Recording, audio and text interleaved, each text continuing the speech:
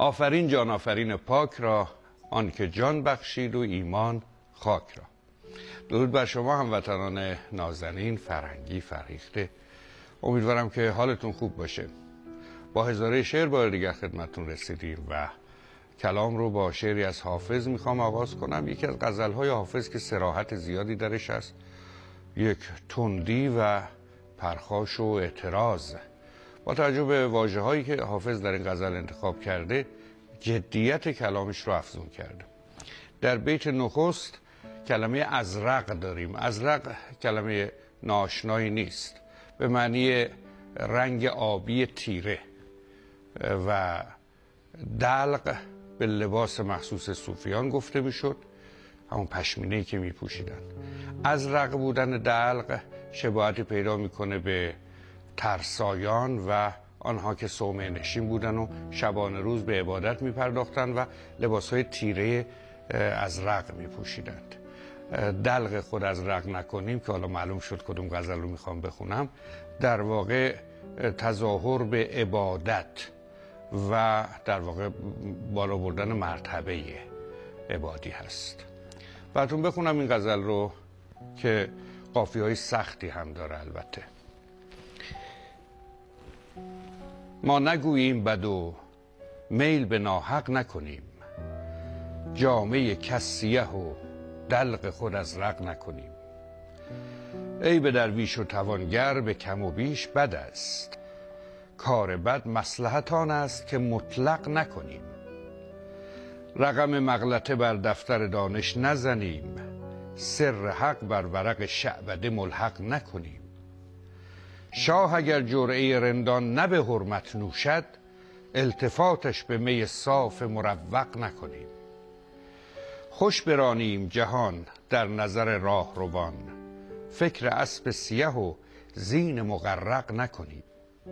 آسمان کشتی ارباب هنر می شکند تکیه آن به که بر این بحر معلق نکنیم.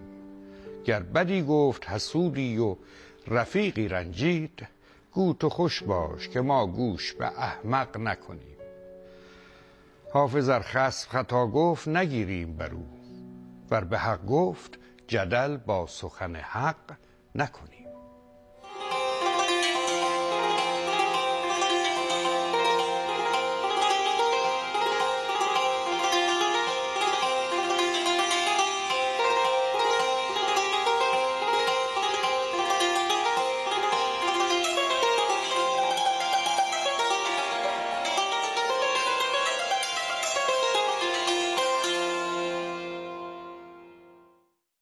باز هم به بخش جذاب بررسی ترانه های ماندگار رسیدیم. ترانه هایی که در حافظه جمعی ایرانیان بعضی چند دهه حتی یک سر تکرار شده و هر بار هم پای دفعات قبل ازش لذت بردیم. سالها بدون اینکه ارکستری باشه یا نوازندگانی باشن خودمون در حال خوشون ها رو زمزمه کردیم گاهی که شنیده ایم که رادیو پخش کرده باشد جایی پخش شده باشه به شوق اومدیم. از این جهت که این ترانه بارها به ما لذت داده و از این جهت که هممون داریم از یک ترانه به خصوص شبیه هم لذت می‌بریم. ترانه ای رو باز در این نوبت انتخاب کردیم که در محضر استاد عبدالجبار کاکایی به بررسی اون بپردازیم. درود بر شما استاد خیلی خوش آمدید. خیلی متشکرم عرض سلام دارم خدمت بینندگان گرامی. بله همونطور که فرمودید ترانه ای که مرزهای زمان رو در می نورده نسل ها رو از پی همه تا نسل هایی که به هر حال سن و سالشون قد نمیده که حتی شرایط اون روزگار رو درک کرده باشن اما با این ترانه احساس خویشاوندی می کنند دو در واقع پرویزین پرویز مقصدی و پرویز وکیلی. که هر دو جزو نوآوران عرصه موسیقی و کلام بودند. چرا دیده نشده اند؟ و عجیبه. پرویز وکیلی جدای از این که مثل این کار به شیوه تصنیف سراهای قدیم کارهای زیاد در کارنامه داره اما کسی بود که ترانه نوین رو هم به طراف خیلی از بزرگان ترانه سرای روزگار ما که به نام شهرهای شاخص ترانه نوین می‌شناسیم پریز وکیلی رو به اتفاق آغازگر سنت ترانه نوین ایرانی می‌دونه حتی اگر آغازگر هم نبوده باشه هم زمان بوده با بزرگان ترانسرای نوین ایران کاملا درسته. آرتوش خواننده کار. با نام سنگ قبر آرزو شناخته شده است. اسم اصلیش نفرینه. روایت آغازین ترانه ما رو به یاد شعر معروف اخوان میندازه. ما چون دو دریچه روبروی هم آگاه زهر بگو مگوی هم. هر روز سلام و پرسش و خنده. هر روز قرار روز آینده اکنون دل من شکسته و خسته است. زیرا یکی از دریچه ها بسته است. نه ماه فسون نه مهر جادو کرد. نفرین به سفر که هرچه کرد او کرد. سفر از دیر باز جزو مزامین شعر شاعران بوده. زمانی که هم در واقع جابجا جا شدن با دشواری صورت می گرفته راه ها ناامن بودن و سفرها به درازا می کشیده و با رونق وسایل نقلیه این مضمون کم کم رخت بله. بربست گرچه این شعر در زمانی گفته شده که جالب یه جا ملک شعرهای باهار گفته بود ازدیاد وسایل نقلیه لحجه های سرحدی رو از بین می‌بره همه به تهران میان رفت بله. آمد می‌کنن گویش تهرانی غلبه می‌کنه و نگران لحجه های سرحدی خراسان شما بله، بود. به حال ازدیاد وسایل نقلیه یا کمبودش هر دو می‌تونه مضمون آفرین باشه برای شاعران اینجا موضوع سفر با در واقع شروع حزنانگیز آسمان چشم و آینه کیست. یک نگاه غیر مستقیم اینجا غیر مستقیم گویی در ترانه به نوعی برجسته کردن زبان از حالت خودکار به زبان ادب. زبان زبانی که درش ظرفیت های شاعرانگی به کار رفته. شاعر می‌تونست بگه که الان پیش کیه؟ الان به کی داره نگاه داریم می‌کنه؟ ترانه داریم در همین روزگار خودمون میگه یعنی الان کجاست؟ یعنی الان کجاست؟ بله. خیلی حرفا رو میشه ساده ساده گفت. مثلا میشه گفتش که بیاید با هم کمک کنیم و در اثر همراهی با هم این مشکلات پشت سر بذاریم. خب شاعر برگشته گفته که برای کوچه شد هنگام وحشت کمک کن از تن هم پل بسازیم. بله. همون گزاره خبری منتها با تصرفاتی که شاعرانگی درش اتفاق شاعرانگی. یا. مثلا بله. می‌تونیم به کسی بگیم که من صبح تا شب گریه کردم. یا تمام روز رو گریه کردم. یه گزاره خبری طرف بله. هم صدق و کذبش میگه ابری تمام روز با من بود. یا همون حرف منتها با یک بله. ظرفیت زبانی دیگه. به هر حال شعر با این شروع شده. آسمان چشم او آینه کیست؟ آن که چون آینه با من رو به رو رو به رو بود. درد و نفرین درد و نفرین بر سفر باد سرنوشت این جدایی دسته بود آه گریه مکن که سرنوشت گرمه را از تو جدا کرد عاقبت دلهای ما با غم هم آشنا کرد. دلهای ما را با غم هم آشنا کرد. در واقع میشه گفت به نوعی تسم امید میده. همین که میگه این جدایی از هم سبب نزدیک شدن دلهای ما به هم شد. ما اگر یه که یه کالبد درد ها- مشترک درمون ایجاد شد آره در- کالبت ها از هم فاصله بله. گرفتن اما دلها همچنان با همه گاهی اوقات دوری در شعر عاشقانه قدیم ما بهتر از وسال بوده. بله کلا هجران آره. قصه عشقه. شاعر به, معشوق که می‌رسیده گفته جزع و فزعش تازه شروع می‌شده. همون دور باشم که دوری و دوستی به بله، تعبیر. امروزی ها. بله. هم جور به شوق است در جدایی و جور است در, در نظر, هم نظر. جور به طاقت شوقت نیاوریم. سعدی بله. چهرش آینه کیستان که با من روبرو بود. درد و نفرین بر سفر باد. این گناه از دست او بود. ای شکست خاطر من روزگارت شادمان باد. ای شکست خاطر من روزگارت شادمان. چه دعای قشنگیه برای معشوق. اصلا قرار بود نفرین باشه. آره. اما داره دعا می‌کنه و خلاف به قول شما تعبیر عنوان شعر هی دلت خورشید خندان. سینه تاریک من سنگ قبر آرزو بود. انتخاب کلمه های خورشید و تاریک نشانه از ذوق پرویز وکیلی در تناسب و یا به اصطلاح موسیقی درونی. که بعضی همین موسیقی درونی رو قبول ندارن. میگن آخه تناسب کلمات چه ربطی با موسیقی داره؟ ما موسیقی بیرونی قافیه و عروض رو قبول می‌کنن اما به نوعی تناسب کلمات رو جزو موسیقی شعر به حساب ولی نمی‌برن. هارمونی در واژه ها در زیبایی. بله. من نظرم هم مثل نظر شماست که من قبول می‌کنم ولی خب سنگ قبر آرزو بود. آن چه کردی با دل من قصه سنگ و سبو بود. که از مزامین قدیم شعر فارسی طبعا میشه گفت مزامین غالبا آی دکتر مزامین شعر سنتی ماست. اما خب شکل پرداخت باش متفاوته. من گلی پژمرده بودم گر تو را صد رنگ و بو بود. ای دلت خورشید خندان سینه تاریک من را سنگ قبر آرزو بود. ای شکست خاطر من روزگارت شادمان باد. درخت پرگل من نوبهار در قوام خیلی هوشمندانه نام برای این کار انتخاب شده که اصلا نفرین نداره. بله. اتفاقا به شکل کنایه آمیز داره میگه من که بدبخت شدم من که حالم بده ولی تو خوشبخت باشی. تو خوشبخت شاید لحن کنایی می‌خواسته داشته باشه. بله. و این نکته وقتی کنار ملودی خیلی متوقع یعنی بله. از اون ملودیاست که دستانداز نداره. آدم خوشش میاد باش زمزمه کنه. یه نکته خیلی عجیبی تو این کار هست. جناب کاکای عزیز با توجه به اینکه کار خیلی مشهوری و خیلی هم شنیده شده همش زمزمه است. بله. یعنی شما اوج ندارید تو این ترانه. بله.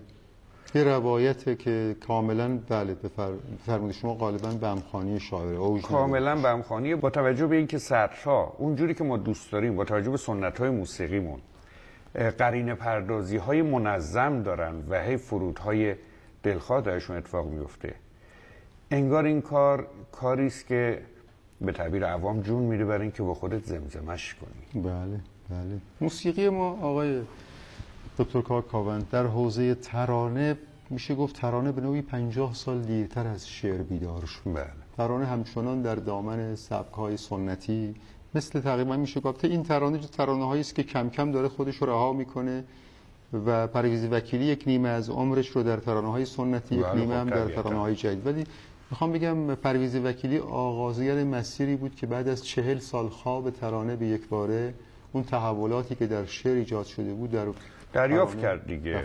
درش بله انگیزه ایجاد شد. بعدم با اون قصه دو ماهی کار به اوج ترانه نوین امروز رسید که بله کار قنبری. یه نکته هم فقط من اشاره وار در پایان سخنان مفید عبدالجبار کاکایی عزیز بگم در مورد آرتوش که خواننده این تراناس و خیلی هم خوب خونده. خیلی خوب. آرتوش جزو گروهی بود که در اون دوره مثل جمشید علی مراد و چند نفر دیگر مجموعه ای درست کرده بودن که با هم آلبوم بیرون می‌دادن و عنوان این گروه خیلی جذاب بود اعجوبه ها یعنی این که می‌خوایم کار تازه بکنیم توی ادعای نامگذاریشون بود.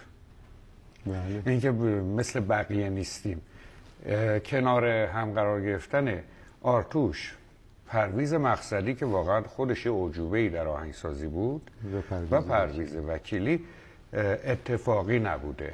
و بی خودی این کار نمی‌گیره. خب سپاسگزارم از استاد عزیزمون عبدالجبار کاکایی و همچنان با شما و برنامه هزاره شعر ادامه میدیم.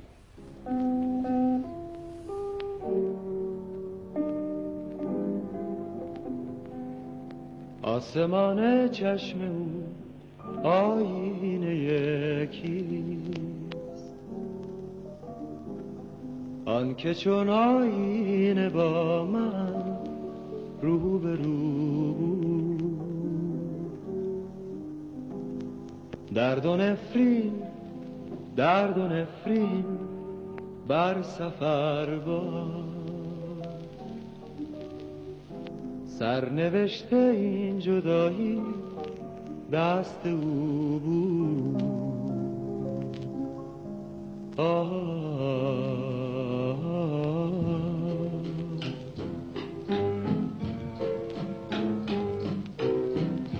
گریه مکن که سرنوشت گر مرا از تو جدا کرد عاقبت دلهای ما با غم هم آشنا کرد. با غم هم آشنا کرد. چهره آینه یکیست آن که با من رو به رو بود. درد و نفرین بر سفر این گناه از دست بود. این گناه از دست بود. ای شکست خاطر من. روزگارت شادمان با ای درخت پرگل من نوبهارت ارغوان باد.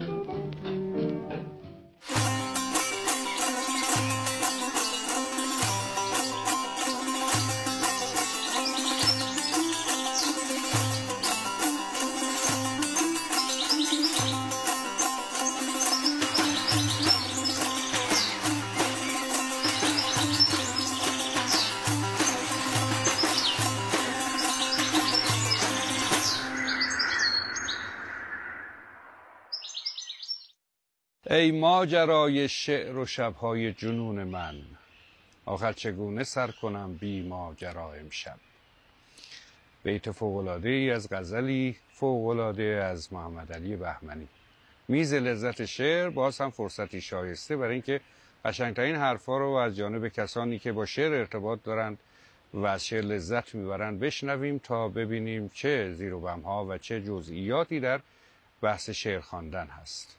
و تقریبا معلوم شد که مهمان گرامی این نوبت لذت شعر شاعر بزرگ روزگار ما استاد محمد علی بهمنی عزیز هست. درود بر شما. خیلی خوش آمدید. خواهش می‌کنم. منم از ابتدا دیدار خودتون خیلی خوشحالم و از دیدار دوستان و عزیزانی که در زحمت این دقایق و واقعا دقیقا عزیزان دارن می‌کشن این زحمت. بله خب البته که دوستان اینقدر مشتاقن که این زحمت چندان هم براشون دشوار نیست. می‌بینم که چقدر عاشقانه. لطفشون خب مگه میشه از شعر سخن گفت؟ اون هم با حضور محمد علی بهمنی اون هم درباره لذت شعر و کسی احساس خستگی بکنه.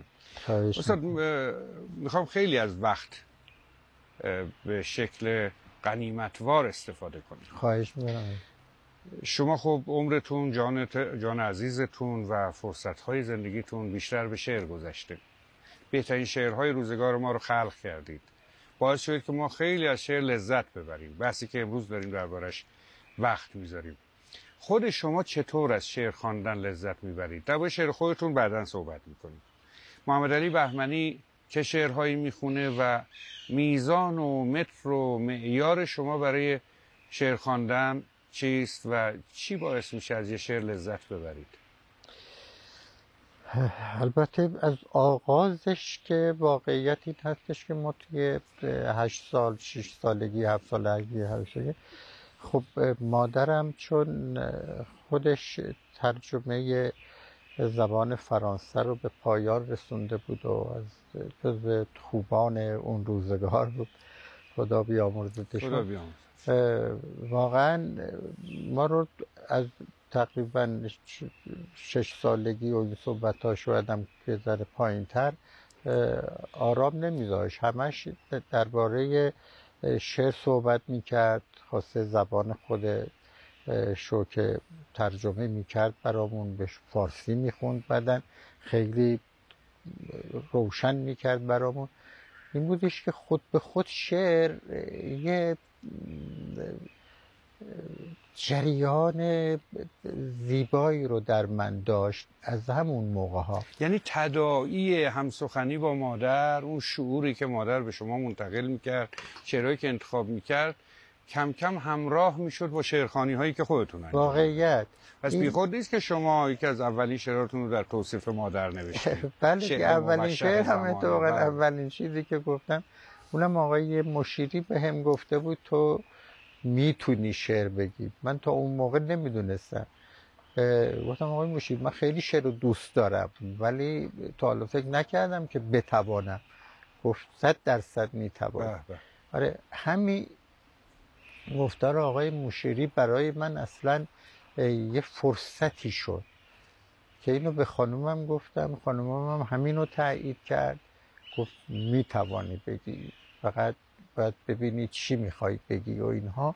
من یه چند روزی هم هی روی این فکر می‌کردم و که چی بگم و این صحبت ها تا خود مادرم گفتش که آقای مشیری به هم گفتش که برای مادر شعر گفتی؟ شما گفتم نه. گفت مادر پدر برادران. متوجه الان تو این سن و سال شما باید برای اینها شعری بگی هم اونا بدونن هم من بدونم.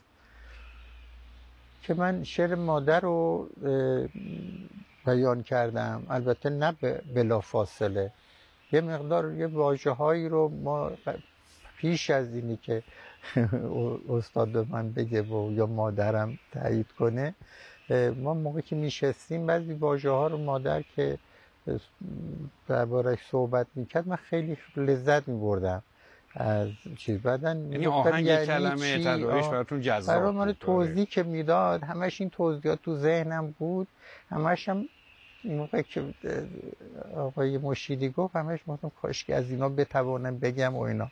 خیلی هاشم نشسته بودم نوشته بودم دوباره برای خودم که آره این اتفاق افتاد و من شعر مادر رو گفتم. یه دو سه بیت چه برامون بله بله. ای واژه بکر جاودانه ای شعر موشه زمانه ای چشمه سین جوش الها ای حس لطیف مادرانه. استاد دارم باورش نمیشه اولین تجربه شعریتون باشه. چرا؟ خیلی ها می‌گفتن باور میشه. من خودم هم اتفاقا آقای مشیری موقع که توی این یه واژه‌ای بود از من پرسید این, این واژه یعنی چی؟ بهش گفتم. بعدم گفت از کجا اینو بلدی؟ گفتم هم مادر گفته بود هم, هم بیشتر از زبان خودتون. چون منو روزهای تعطیلی مدارس مادر چون درس داشت و این صحبت ها با یکی از برادران میفرستاد تو چاپخانه ای که آقای مشیری مجله روشنفکر رو اونجا زیر نظر ایشون در می اومد بعدا اونجا من می‌دیدم موقعی که می‌خوان یه امضایی از آقای مشیری بگیرن. تو اون موقع من خودم هم امضا رو نمی‌دونستم. بله. آره بعدا یه واژه دیگه ای رو می‌پرسن ازش. من می‌گفتم خدای این واژه موشه چیه؟ آره موشه رو می‌گفت توشی هی من می‌گفتم این چی چیه؟ بعدا از مادر که پرسیدم گفتش که ما قبلا متوجه به چی میگیم که نمیگیم امضا کنید. قبلا سالهای پیش ما هم جوان بودیم. امضا کردن می‌گفتن موشه بفرمایید. بله بله. چقدر من از این خود موشه خوشم میومد و بعد شما با این خاطری که گفتید که در واقع میشه گفت با توصیه دیگران حالا این دیگران آدم بزرگی بله مثل بله. مشیری باشن و بله، مادرتون خیلی شاعر بزرگی شدید. حالا قصد مداهنه یا بزرگ نمایی ندارم ولی غزل های شما واقعا غزل های خوب روزگار ما بوده. خب در شعر خواندن چی اول از همه شما رو به خودش جذب می‌کنه؟ آیا آهنگ شعر هست؟ آیا رویا پردازی ها و تخیلات شعری هست؟ آیا نوگراییشه آیا قالب شعره یا تفکری که در شعر هست؟ ببینید خب من تا باز 63 سالگی مثل همه عزیزان که شروع کرده بودن شعر رو و همچنان ادامه می‌دادن منم تا 63 سالگی واقعا همین انجام می‌دادم. یعنی می‌گفتم خب حالا امروز می‌خوام برم یه جای شعر بخونم یه شعر تازه تر بگم. می‌گفتم و می‌رفتم و اینها. ولی بعدا متوجه شدم همه این هر چیزها شعر نیست تمام این چیزهایی که من تا اون موقع گفتم از دیدگاه خودم فکر کردم شعر نیست. گرچه خیلی هم دوست داشتن مثلا بعضی حالا چراشم این بودش که من دعوت شده بودم به مشهد خوشبختانه شبی رو همون شب اولی که رفتیم خب رفتیم برای زیارت نیمه شب بود. زمستانم بود. یه مقدار خیلی داخل خیلی شلوغ بود. بله. مقدر شلوغ بود که من اون موقع یه مقدار نفس گیری هم داشتم. نفسم می‌گرفت. هی میترسیدم برم مثلا جلو و اصلا نمی‌شد برم مقدر شوخی از همونجا دیگه با آقای صحبتی برای خودم کردم و فکر کردم خب خانم هم حالا از اون طرف توی بخش خانم ها اینطوری بیام برم بیرون واستم که اون اگه بیا سرما نخوره. درست. من رفتم بیرون پای یه جایی که یه چراغی بود. گفته بودم من اینجا با میستم شما بیا اینجا. ایستاده بودم و هرم همینطوری خیره شده بودم. بدون اینکه بخوام بشم و خیره شده بود یهو دیدم داره شعر میاد تو ذهنم. عجب. متوجه که واقعا اونجا تازه متوجه شدم شعر رو اصلا من ما نباید بگیم. شعر باید ما رو بگه. آفرین. که اینو بعدا هم پرسیدم دیدم آره واقعا اصلا واقعیت شعر ماندگار این هست. این بود که شعر امام رضا رو گفتم که دیگه همه عزیزان می‌دونن و اینها. بازم با اون که می‌دونن دو سه بیتی شما شرمنده که همت آهو نداشتم. شست و سه سال راه به این سو نداشتم.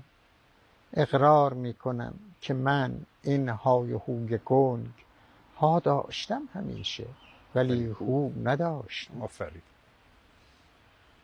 آقا شما که از همه کس با خبرتری من جستری نهاده به زانو نداشتم خانده و یا نخوانده به پابوس آمدم دیگر سوال دیگری از او نداشت نداشت. آفرین بر شما. چقدر شعر قشنگی هم هست. مثل همه شعرهای شما. خب من می‌خوام صحبت رو به جای دیگری بکشونم که دوباره برگردیم به شعرتون. از بین شاعران بزرگ ادبیات فارسی از بین قدما. با کدام شاعر بیشتر اونس دارید و اگر قرار باشه شعر مطالعه کنید سراغ اشعار او میرید. بیشتر سعدی و حافظ و همیشه با اینکه مادرم خیلی روی عزیزان دیگرم هی چیز میگه ولی من این دو عزیز رو خیلی دوست داشتم. خب بذارید از سعدی صحبت کنیم. بله. مثلا غزل سعدی. بله. غزل سعدی نسبت به دیگر شاعرانی که شما همه رو دوست دارید اما مرتبه سعدی رو بالاتر قرار می‌دید. یا بهتر بگم با سعدی ارتباط بیشتری دارید چه ویژگی داره؟ غزل سعدی مثلا نسبت به شاعران هم روزگار صده های قبل حتی شاعران معاصر. ویژگی غزل سعدی که شما وقتی می‌خونید می‌تونید بگید که کیف می‌کنم که می‌خونم. چیه؟ زبان سعدیه تفکر سعدیه حال عاطفی شعر سعدیه تخیلشه چیه؟ ببینید اصلا زبان سعدی یه انگار داره ذهن ها رو ویرایش میده. متوجه به خاطر اینکه خیلی اولا خیلی راحته زبانش. سادگی آره اون سادگی البته توی اون سادگی کلی عمق نشسته ها ولی آنقدر ساده است که آدم حس می‌کنه این چگونه توانسته واقعا این گونه ساده بتوانه یک کلامی رو یا یک اشاراتی رو داشته باشه که همیشه ماندگار باشه در ذهن دیگران. وقتی که براشون می‌خونی تنها خودت نه در ذهن اونها هم واقعا یه ماندگاری داشته باشه.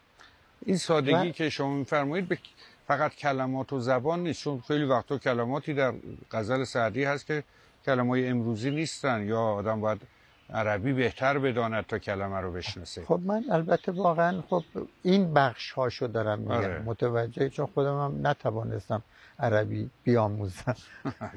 نه منظورم بیشتر اینه که حتی بله نه درست که عربی داره لحن سعدی اون تخاطبی که در کلام سعدی است باورپذیره. آدم احساس می‌کنه که کلمه هم اگر ناشناس بیان سعدی ساده است. اصلا شعرش واقعیت یک نوع درسی هست انگار که داره در مکتب تازه برای شما داره واقعا بیان می‌کنه که شما حس می‌کنی که چقدر فراتر از یک مکتبه.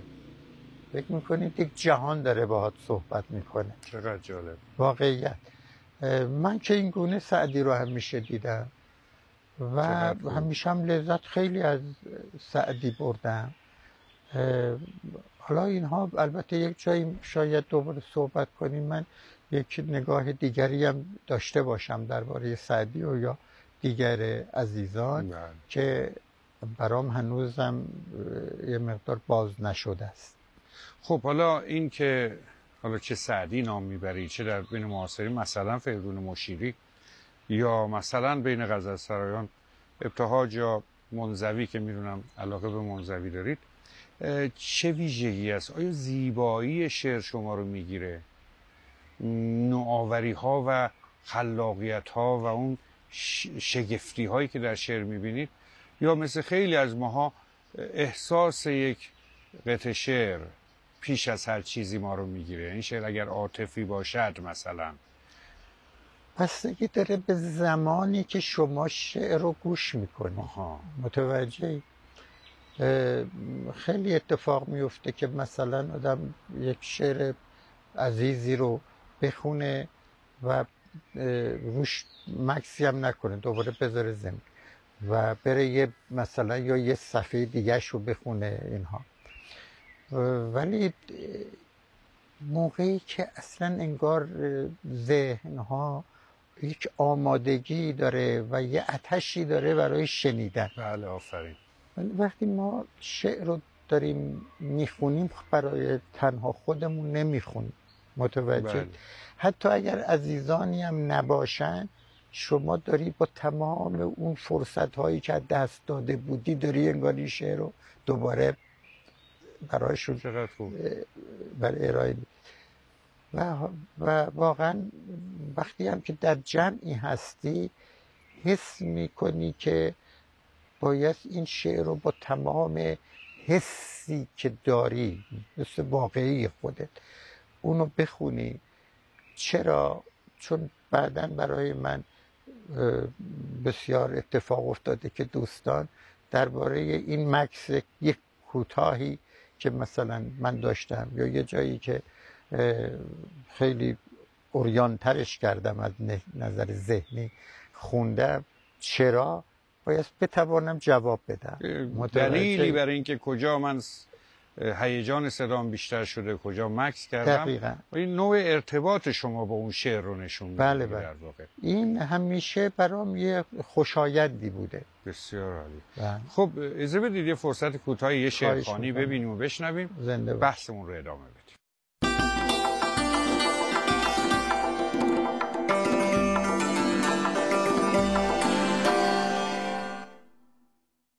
امروز نه آغاز و نه انجام جهان است.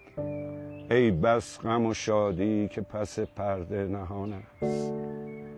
گر مرد رهی غم مخور از دوری و دیری دانی که رسیدن هنر گام زمان است. تو ره رو دیرینه سرمنزل عشقی بنگر که ز خون تو به هر گام نشان است. آبی که براسود زمینش بخورد زود. دریا شود آن رود که پیوسته روان است. از روی تو دل کندنم آموخت زمانه.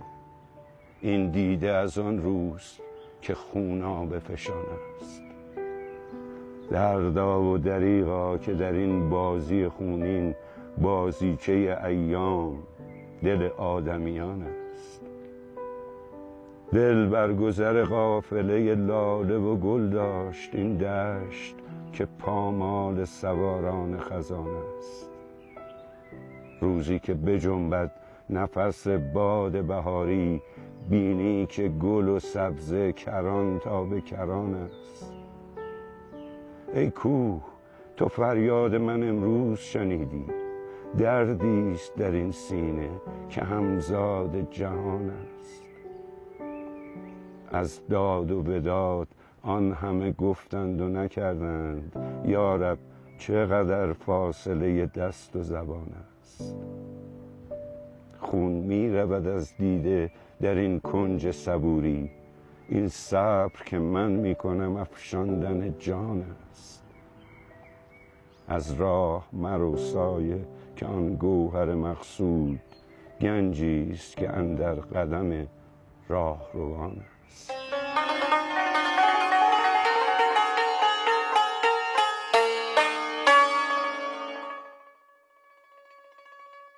استاد بهمنی عزیز جان من برای خیلی از علاقمندان شعر که با شعرهای شما آشنایی دارن و خب میشه به راحتی تصور کرد که حال ویژه‌ای گاهی با شعرهای شما پیدا کردن تحسین کردن از درون شما رو یا لذت سرشار بردن.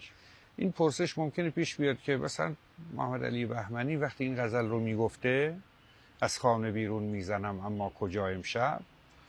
یا هر غزل دیگری که حالا بله. تعدادشون هم الحمدلله زیاده. چه وضعیت فکری عاطفی روحی داشته که این غزل رو گفته؟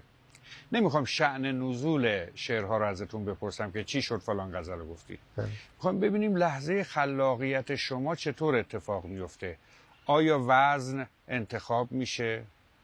بیت اول همونجور که میگن هدیه آسمانیست میاد باقیش بالاخره جمع جور میشه. آیا خودتون رو کاملا به شعر میسپرید؟ الگویی در ذهنتون طراحی می‌کنید کلیتشو. چه اتفاقی که میشه گفتش؟ میفته البته من پیش از 63 سالگی بله این مقوله ها برام یک نوع تشنگی بود. یعنی حس می کردم چرا مثلا باید شعر رو ما مثلا به خاطر چیزی بخونیم. مثلا می‌خواستیم بریم یک جایی امشب بشینیم با دوستان مثلا یا اینها. بعدا می‌گفتم خب حالا یه شعرم بگم برم که اونجا یه شعر تازه‌ای برای این عزیزان بخونم. من برام یه سوالی بود این مقوله که آیا شعر نمی‌تونه خودش سراغ ما بیاد؟ که من اون روزی که شعرشم خوندم آره بله. متوجه شدم که شعر رو ما نباید بگیم ما شعر فقط باید بخونیم منتظر بمونیم تا یک شعری یهو بیاد تو ذهنت و با اون ذهن کوتاهی که خود شعر می‌خواد یا حتی یه ذره کشیده تر شعر رو بیان کنید یعنی الان شما می‌خواید. بفرمایید که تا 63 سالگی بله. اون همه شعر خوب که ما از شما خوانده ایم به اون شکل کامل شهودی و در یک لحظه الهامی نبوده. یعنی شما خب میگم خب اونها همش ما ریشه در خانواده خودمون بله. داشت. چون خب خان... مثلا ما این نشست های هفتگی رو خیلی داشتیم در خانواده. با چون دیگر برادرانمون هم میشستن و مادر مثلا میگم حالا شعراتون رو بخونید و فلان این صحبت. بعدا ایرادایی رو که می‌گرفت یا اشاراتی رو که در دکلمه ها می‌گفت و اینها برای ما همه درس بود. خب طبیعی بود که ما هم بر اون مبنای می‌خواستیم شعری گفته باشیم. یعنی من واقعیت هم میشه از اون زمانهایی که آقای مشیری محبت کرد و مادر واقعا انگار من شعر همیشه برای این دو نفر می‌گفتم. ولی واقعیت این هستش که بعد از اون اتفاقی که افتاد من اصلا به واقعیت خلق شعر دارم صحبت می‌کنم. بله. شعر اصلا نباید ما بگیم. ما فقط باید مطالعه بکنیم در روز. متوجهید شعر بخونیم کتاب بخونیم هر چیزی رو باید فقط مطالعه داشته باشیم. ولی شعر به دلیل اینی که دیگه درک کنه که شما متوجه شدید شعر که اتفاق میفته خودش یهو ذهن تو کشف می‌کنه خب و بیان می‌کنه. و الحمدلله من از اون به بعد هیچ وقت شعر نگفتم شعری رو گفتم که خودش آمده و امکانم نداره دست ببرم توش. متوجهید که مثلا بگم حالا این واژه رو یه تغییری بدم و این حرفا نکردم. و از نظر خودم خیلی راحت ترم ممکنه خیلی هم قبول نکنن ولی از نظر خودم خیلی راحت ترم و تازه متوجه شدم ما شعر آزاد و متوجه موقعی می‌گفتن در گذشته که این گونه بودن. یعنی واقعا شعر می اومده اینا رو می‌گفته. نه اینا شعرها. البته خب یه نظرگاهی در سرودن دیگه. بله بله از ریشه الهه شعر یا جن شعر میاد تسخیر می‌کنه شاعر رو و اون ناگزیر می‌نویسه. آره نه ناگزیریش نیست. اون ذهنه میگم. موقعی که خودش انسان انگار رها نمی‌تونه ننویسه. بله یعنی بله. دقیقا می‌رسه و بنویسه. اون واقعا خودشه بهتر می‌دونه دقایقش کیه تا خود ما بخوایم چیز بگیم. ما فقط باید همیشه تمرین کنیم. هرچی تمرین کنیم شعر زودتر هم میاد اتفاقا برای آدم درسته. در ماجرای ترانه ها چی؟ شما ترانه رو صرفا با سفارش برای یک موسیقی خاص می نوشتید یا نه اینم لحظات دلی آنچانی درش پیش می آخه ترانه رو به ما یاد داده بودن. من اون سالهای اولی که رفته بودم خب توی تقریبا سال 41 و اینا بود دیگه. بله. متوجه رفته بود دکتر نیر سینا هیچ گونه اجازه نمی‌داد که کسی متوجه شعری رو گفته باشه که بگه روش موسیقی بذارن برای مثلا خانش خواننده ها می‌گفت باش یا یه کسی آواز بخونه. می‌گفت بله قبوله قبول می‌کرد ولی ترانه ولی حتما بر روی ترانه ملودی رو می‌گفت. باید اول یک آهنگساز ترانش رو بسازه آهنگشو بله بله ملودیش. آهنگش رو بسازه بعدا برای ترانش موقعی که می‌خواید مثلا به کسی بگه که ترانه سراشه قبول کرده که بگه که ما حالا مثلا نخستین بودیم و توی این مقوله ایشون نباید باز بگه که شما باید شعر رو بگی. باید امتحانت کنه. پس برای امتحان باید حتما کسی هم که می‌خواد بخونه حضور داشته باشه. یعنی ما میش... سه نفری میشستیم. چقدر جالب. آره. بعدا میگفتش که خب حالا بیت اول رو باید آهنگسازش بگه. تو شعرش رو بگی خواننده زمزمه کنه. اگر قبول بله. کرد سرش رو تکون داد و بهبهی گفت یا حق بعدا حالا بیت دوم اون بگه. این گونه بود اون موقع اصلا هیچ گونه اجازه. بله بله اصلا میگفتش که این یک روز طول می‌کشه باید با هم باشیم چند روزم طول می‌کشه باید با هم باشیم مثلا یک نمونه از این ترانه ها رو که مجموع ترانهاتون اینجاست بله برای اون می‌خونید که به این شکل اتفاق افتاده یعنی آره. آهنگساز ملودی رو ساخته بله بله صدای. خواننده مشخص بوده و شما کلام رو هی پیش بردید با. کم کمک سهر داره هوا رو روشن می‌کنه. آسمون پیراهن آبیشو باز تن می‌کنه. یه شبی هم که تو مهربون شدی با دل من صبح ناخونده داره دشمنی با من می‌کنه.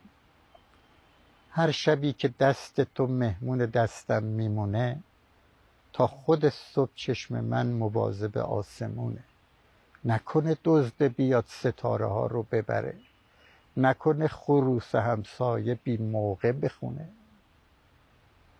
پلکاتو رو هم بذار. نذار که آفتاب بتابه. خودتو به خواب بزن. بذار که خورشید بخوابه. به به. من می‌خوام یک شبم و هزار و یک شب بکنم. می‌دونم آرزوام همیشه نقش برابه به به. آفرین بر شما. بله ترانه های استاد بهمنی اونقدر پرخاطرن و هر کدوم که می‌خونن یه نغمه ای تو گوش ما میاد و خاطراتی باش میاد. خب پس در ترانه دستتون بسته بود. یعنی همه چی آره اون موقع بود؟ که باید اینطوری بود بود. بعدا دکتر نیر سینا که رفت. اوه آره اصلا و جدی هم ایست- بله. ایستادگی می‌کرد. بعدا هم که حالا یه مقدار تغییر کرد اه، شرایط و اینها دکتر نیر سینا دیگه ادامه نداد رفت از ایران بله. خب الان شما در سالهای اخیر بعد از 63 سالگی بله نوع شعر گفتنتون در واقع نوع مواجهتون با شعر عوض شده فکر می‌کنید برخورد مخاطب با این نوع شعر آیا عوض شده؟ یعنی منی که علاقمند غزلهای شما بودم به آن ترتیبی که پیش از این می‌گفتید. حالا بعد از سال 63 که خودتون رو واگذار می‌کنید به شعر. شعر تصمیم می‌گیره که گفته بشه. آیا فکر کنید مخاطب این رو دریافت می‌کنه در این شرایط؟ من خب پیش از اون سالهایی که یعنی دو سال شاید بیشتر که نشست های گفتگو با دوستان داشتیم واقعا خب با عزیزان اینو مطرح کرده بودم که شعر رو سعی کنید یه مقدار این گونه یه نگاهی روی شعر داشته باشید. بذارید شعر بیاد شما رو بگه. بعضیا خب قبول نمی‌کردن گفتن آخه یعنی چی؟ ولی بعدا خودشون دیدیم گفتن ما امتحان کردیم چقدر بهتر. بعدا من یه موضوع دیگه ای رو بیان کردم که این موضوع رو درک کرده بودم و ضعف در شعر می‌دانستم. واجه هایی بود که تو شعرهای هم ابتدای گذشته و هم روزگاری که خودمون ادامه داده بودیم تو شعرهای قبلیمون وجود داشت که یک واجه هایی رو ما مثلا واژه اگر متوجه ما تو شعرهامون مثلا داریم گر بله. متوجه. مخفف خب می‌کردن میشکستن نه آخه غلطه اصلا. بله. گر خودش یه حرف دیگه ایه متوجه خب 63 تا واژه ما گیر بردیم توی شعرهای گذشته و اینها که خب اصلا برای چی بوده اصلا اینها؟ چرا ما اصلا در غزلمون باید کار زبانمون رو بشکنیم؟ ما شعر آزاد دو داشتیم می‌تونیم بگیم بله. چرا باید توی غزلمون با خب با بزرگانی هم که حالا نام نمی‌برم صحبت کردم متوجه گفتم والا من به این نتیجه رسیدم. شاید دارم کار بدی می‌کنم. کاری هم خوب دارم می‌کنم. چرا ما ما توی شعرمون متوجه مثلا غزلمون یه چیزایی رو شیکوندیم. متوجه؟ یه فکری کرد خب حالا من تا حالا فکر نکرده بودم ولی راست میگید. چند تا واژه رو خوندم براش. گفتم خب یعنی چیه اینا؟ چرا باید اینطوری باشه؟ گفتم گفت خب آره گفتم خب حالا من اومدم خدمت شما که شما واقعا جایگاهی دارید و اینو بیان کنید بلکه ما برسیم به یه درست, درست شدن. برگشت من درس میدم همینا رو. تا حالا متوجه چگونه می‌تونم الان به کسی بگم؟ خودم از این به بعد دیگه این کاری نمی‌کنم. ولی چگونه باید آخه این کار بکنم؟ این وظیف خودته. خب نشست دارید چون اون موقعی که من نشست داشتم اینم بیان کرده بودم و چقدر من خودم راتس نه تا گیر برده بودم. درست. بچه های بعد از من کردن 63 تا متوجه که همش تو همین شکستن کلمات تو همین شکستن کلمات که اصلا شعر رو تخریب می‌کنه. یه لحظه که روش کار کنی ها یعنی اینو قبول کنی و می‌بینی اصلا چقدر راحت هیچ آسیبم نمی‌بینه دوباره درست شده اصلا. یعنی همون حرفم درست شده. هیچ چیزیشم تغییر نکرد. بسیار متوجه. یه همچین حرکتی هم در حسرت انجام دادیم که الحمدلله خیلی از بچه ها الان دیگه خب خیلی ها دارن این حرکت رو خیلی راحت براشون. دیگه چیزی نیستش. خب راحت که بله. گفته میشه راحت هم دریافت میشه. استاد بله. یکی از غزل هایی که مورد علاقه خودتونه و در این سالها خب خوب هم شنیده شده انتخاب کنید. برامون بخونید این آخر بس ببینم چی بخونم بالا براتون. یه غزلی که خودتون بیشتر علاقه دارید بهش. البته می‌دونم شاعر همه شعراشو دوست داره اما اونی که بیشتر منطبق با خواسته خودتون بوده و مرحله کمال رسیده به نظر شما. خب من یه شعری برای منزوی گفتم این اشکال نداره خوب یادی هم از حسین منزوی عزیز می‌کنیم مقابل خودمم. بس که منحنی شده من شنیدنی امروز دیدنی شدم منی که با همه تردید باورم شده بود خلاف شاعریم. آدم آهنی شده ام. منی که با من خود نیز ناتنیست هنوز. منی که با من گم کرده ام. تنی شدم منی که پلک گشودم به نور از ظلمات برای چشم خودم طرح دشمنی شده ام چه ناگهان و چه بیگاه تلختان نکنم گمان کنید گرفتار کودنی شده و هیچ چیز به جز حیرتم به حافظه نیست. قبول می‌کنم آری نگفتنی شده ام عبور کرده ام از عمق روزنی که نبود و باز متهم نشر روشنی شده ام اگر چه منحنی خواستگاه خیشتنم تو فکر کن که مجاب فروتنی شده ام چه فرق؟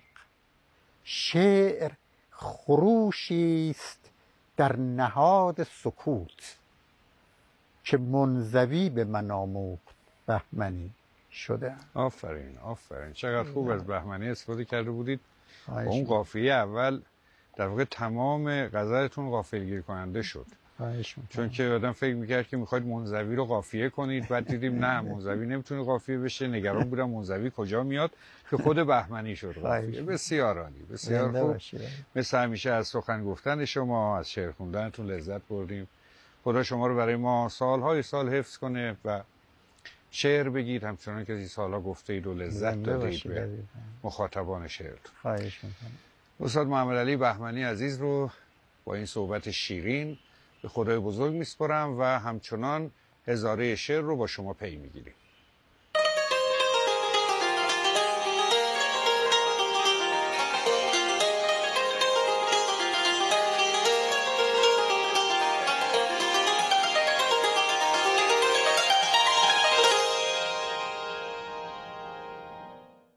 درباره شعر نیمایی اخوان سالس تو کتاب بدت ها و بدایع نیمایشیج صفت ها و ویژگی های متعددی رو برشمرده. یکی عینیت هست. یعنی آنچه که در دل و ذهن شاعر میگذره جسمیت میبخشه و در یک فضای توصیفی تصویری اون رو در واقع به شکل غیر مستقیم بیان می‌کنه. همین باعث شده که جنبه های تمثیلی و به تعبیر فرنگی ها سمبولیک شعر تقویت بشه.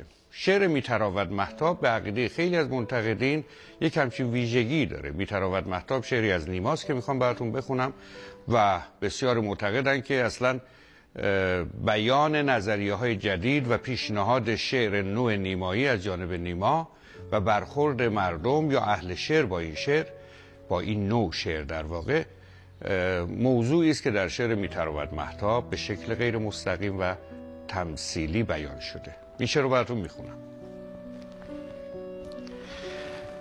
میتراود محتاب میدرخشد شبتاب. نیست یک دم شکند خواب به چشم کس و لیک. غم این خفته چند خواب در چشم ترم میشکند. نگران با من استاده سحر. صبح می‌خواهد از من که از مبارک دم او آورم این قوم به جان باخته را بلکه خبر. در جگر لیکن خاری از ره این سفرم می شکند. نازکار تن ساق گلی که به جانش کشتم و به جان دادم شاب ای دریغا به برم می شکند. دست ها می سایم تا دری بکشایم بر عبس می پایم که به در کس آید در و دیوار به هم ریختشان بر سرم می شکند. می تراود محتاب می درخشد شبتاب مانده پایابله از راه دراز بر دم دهکده مردی تنها. کول بارش بر دوش دست او بر در می‌گوید با خود غم این خفته چند. خواب در چشم ترم می شکند. خدا نگهدار.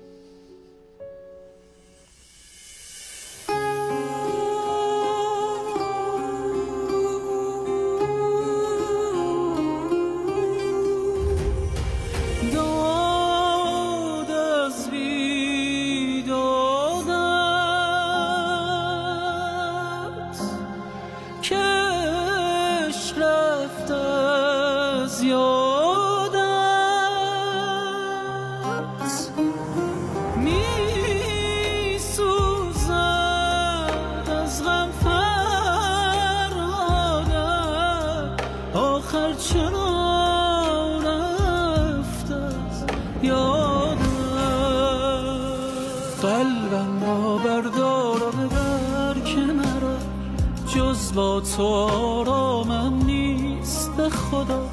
دلتنگم دلتنگ از تو که چرا نرسد به تو؟ از غم من خبری که نمانده سر از من